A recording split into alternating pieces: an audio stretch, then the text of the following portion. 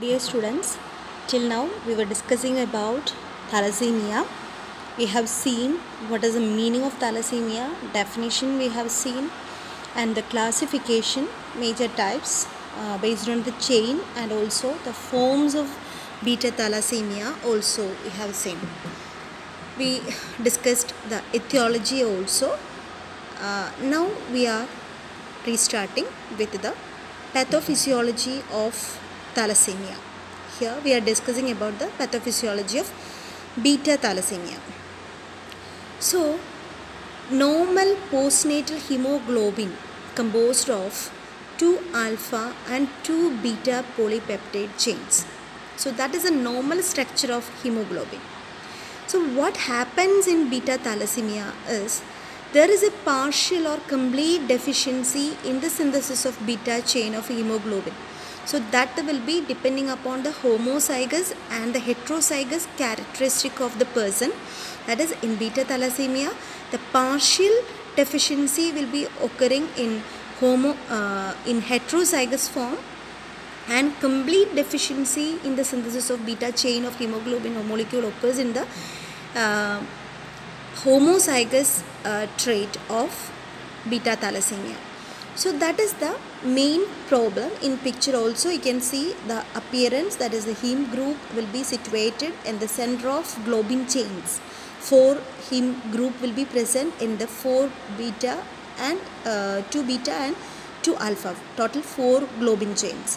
So this is the appearance. So what happens as a result of this partial or complete absence of beta chain is consequently there is a compensatory increase in the synthesis of alpha and gamma chains production which is activated resulting in defective hemoglobin formation.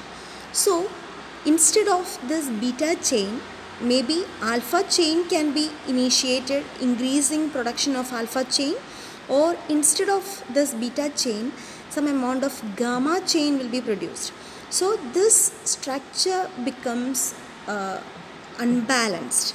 So unbalanced polypeptide unit is very unstable and it becomes thin.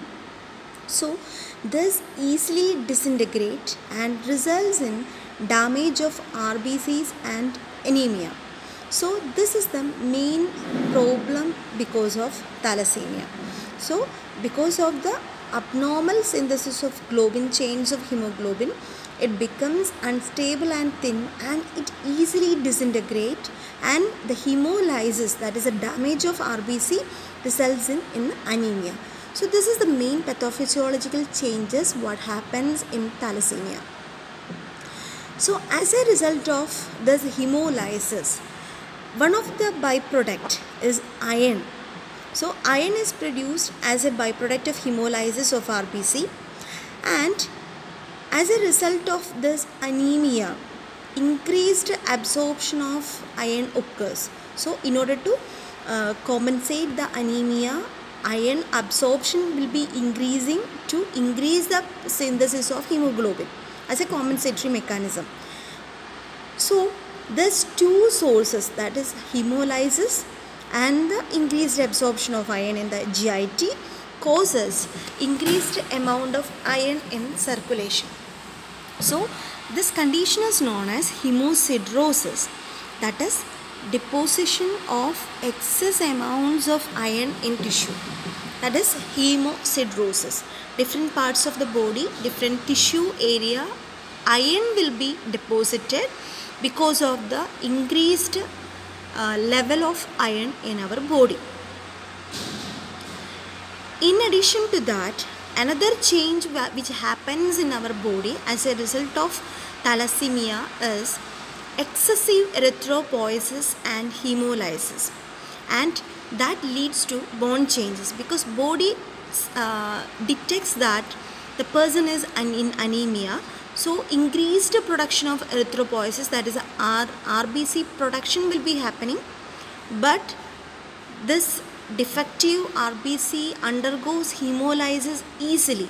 So production is increasing but it is hemolyzed. So that leads to increased bone marrow functioning leads to some bone changes.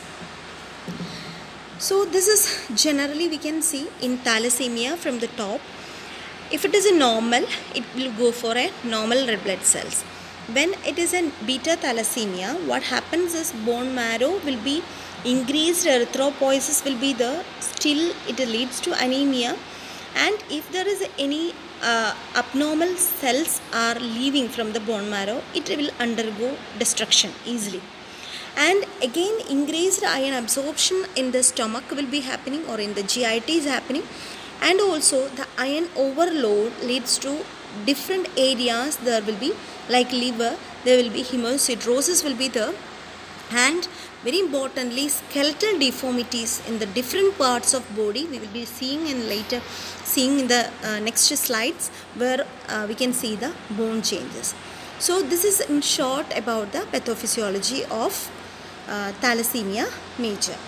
Hope you all understood so what we have to understand is basically two types of chains are the one is defective or one is forming defectively.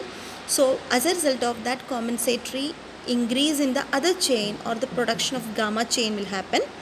And it will become the uh, unit will become unstable. Hemoglobin chains will be unstable. This will disintegrate. That is a result of hemolysis will occur as a result of hemolysis iron will be produced more and there will be intestinal absorption.